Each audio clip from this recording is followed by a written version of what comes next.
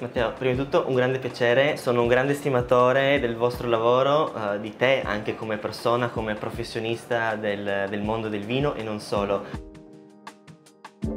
Congratulazioni anche per il secondo premio di Ernest Young. Beh, questa volta è il premio come imprenditore dell'anno, è stata una grandissima soddisfazione, poi io dico sempre che è il risultato del lavoro di tutta la squadra, quindi abbiamo condiviso con tutta la squadra questo grande onore che ci, che ci è toccato.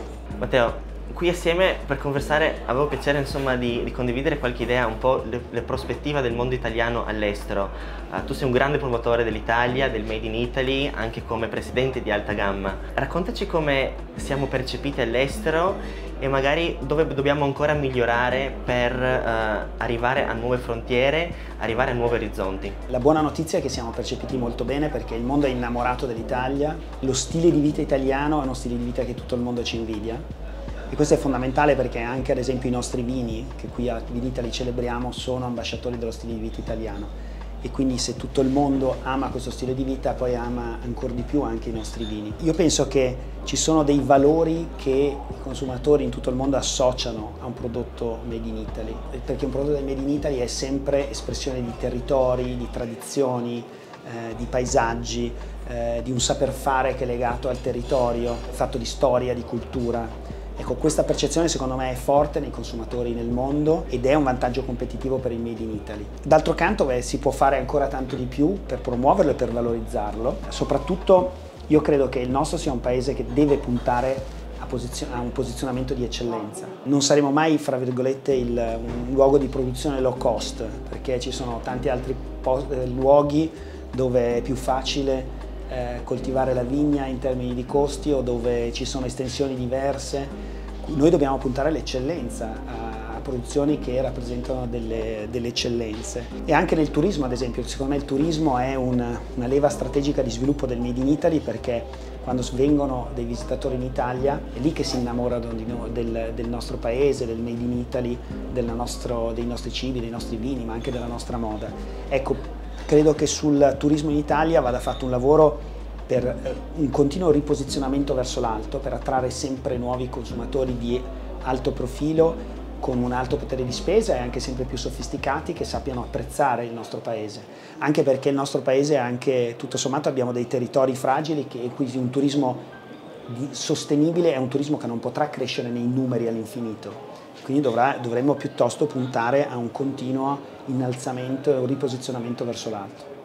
Tutta questa experience che ci racconti ovviamente i vostri prodotti, le vostre aziende sono fondamentali per regalarci un'esperienza. Andando incontro possibilmente a questi nuovi mondi, queste nuove aperture, come, come, riuscite voi a tenere questo bilancio, questo equilibrio tra qualità e produzione? Perché entrambe le cose sono importanti ma la nostra filosofia è quella per cui siamo cresciuti in 121 anni di storia, siamo costantemente cresciuti, ma senza mai scendere a compromessi con la qualità. Questa è la filosofia delle cantine Ferrari, dai tempi di Giulio Ferrari, è quella stessa eh, cultura che mio nonno ha portato avanti quando acquisì le cantine Ferrari nel 1952 ed è la stessa visione che abbiamo noi oggi come terza generazione della mia famiglia e che condividiamo con i nostri manager. Cioè si può e si deve crescere, ma senza mai scendere a compromessi con la qualità, che bisogna quindi partire da uve di eccellenza, che oggi per noi è il vincolo maggiore. Per fortuna devo dire che oggi sul mercato la domanda è superiore a quella che è la nostra capacità produttiva, quindi noi siamo in allocazione sulla maggior parte delle nostre etichette. Diciamo che è una condizione secondo me bella da avere, ci dispiace non poter assecondare le, la richiesta dei, di tutti i clienti, però credo che sia un segno del successo di Ferrari. Penso che in futuro potremo piano piano crescere, continueremo a crescere a ritmi di, in termini quantitativi ridotti e ripeto senza mai scendere a compromessi con la qualità, che significa che dobbiamo andare a piantare nuovi vigneti, a cercare nuovi conferenti di eccellenza.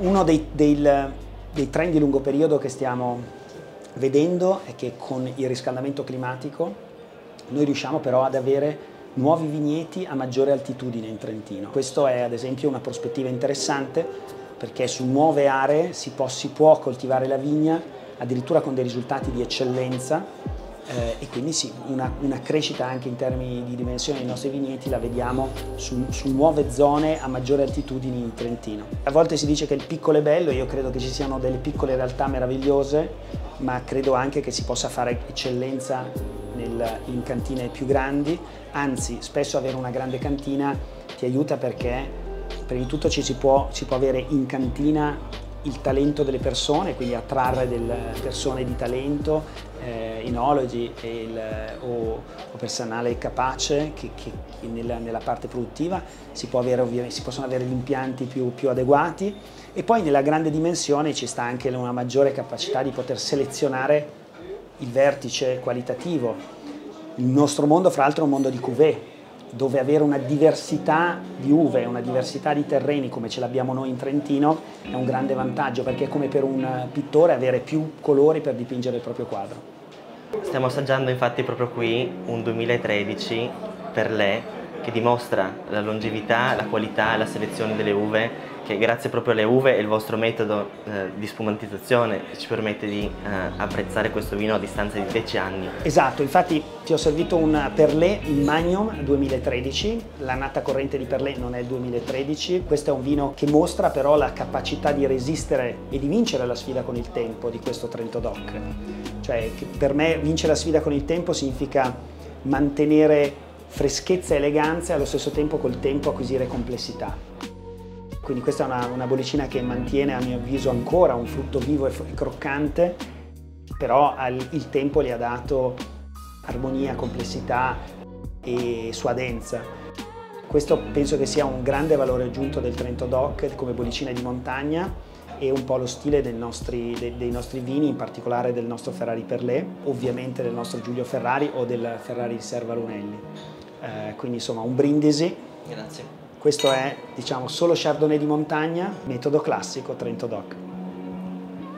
Ispirati alla bollicina che è sempre molto fast e accompagna momenti molto speciali, eh, celebrativi, insomma, importanti, grandi occasioni. Il Ferrari è un grande esempio. Cosa avete imparato stando in pole position eh, dopo adesso due anni di Formula 1 con i vostri prodotti, con il vostro Ferrari? Sì, questo sarà il terzo anno di, di, in cui Ferrari è il brindisi ufficiale della Formula 1 e continueremo fino al 2025, quindi è una partnership che almeno arriverà fino al 2025.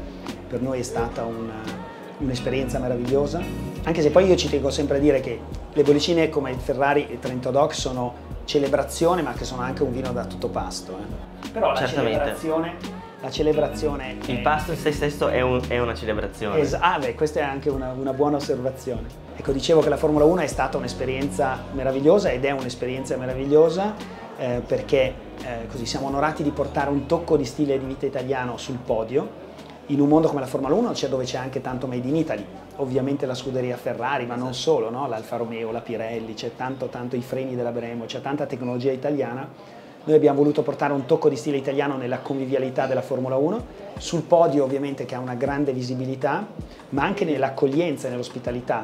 Per noi è molto importante che Ferrari è servito in tutte le hospitality di più alto livello durante i Gran Premi, quindi chi va a vivere un Gran Premio in tutto il mondo può sperimentare i nostri Ferrari Trento Doc e questo ci ha permesso di raggiungere tanti nuovi consumatori che hanno conosciuto i nostri vini. È una vetrina straordinaria che in particolare ci sta dando una forte spinta all'estero e in particolar modo sugli Stati Uniti. Quest'anno ci saranno ben tre Gran Premi negli Stati Uniti. Anche Las Vegas come nuovo. Esatto, Miami, Austin e quest'anno per la prima volta anche Las Vegas che si annuncia come un Gran Premio straordinario. Il rettilineo sarà nella strip e tutti si attendono un Gran Premio veramente unico. Cosa ho imparato dalla Formula 1? Quindi, beh, la Formula 1 è un tempio di eccellenza. Una cosa che mi ha impressionato è sempre vedere come dietro ogni singola di queste macchine ci sia un team addirittura che arriva quasi a mille persone che ruotano intorno, fra chi le ha costruite, chi le segue, gli ingegneri. Quindi c'è un know-how, un numero di persone, un investimento incredibile, tutto dietro una singola macchina che deve eccellere.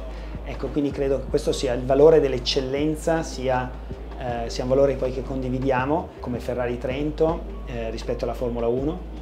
È un mondo poi di passione, di grande passione che ovviamente è al cuore di chi fa vino, eh, ce l'hai sicuramente tu come, come, famiglia, visto che sei nato nel, nel vino e ce l'abbiamo tutti noi che, che abbiamo la fortuna di lavorare in questo settore bellissimo.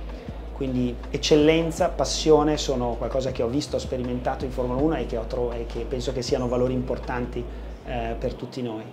Eh, e, e, poi è un mondo, devo dire, di, di eccellenza in, a 360 gradi perché è straordinario vedere come questo, eh, questo mondo si sposta da un continente all'altro, adesso è stato in Australia, si muoverà in un altro continente con una capacità anche organizzativa e logistica che è incredibile. Eh, quindi è un, un, mondo molto particolare e poterlo vivere da dentro, devo dire, è stata una bellissima esperienza. Insomma, loro hanno le macchine e i piloti che si spostano, noi abbiamo le nostre bottiglie e gli enologi, brand ambassador, che fanno un po' il, il, esatto. una cosa simile. Matteo, grazie mille per la tua disponibilità, per queste insomma, così, informazioni. Salute eh? e viva il vino italiano. Esatto. Cin cin. cin cin. Salute.